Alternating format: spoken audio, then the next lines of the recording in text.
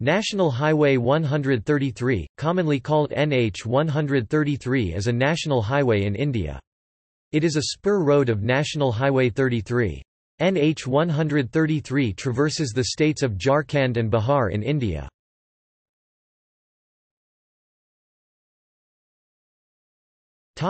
Route Bihar junction with NH33 near Pirpainti Jharkhand border. Jharkhand Bihar border Godda Chopa more on NH 114A.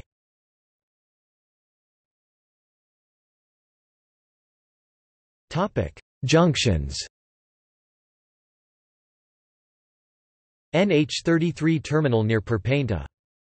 NH333A near Godda. NH114A terminal near Chopa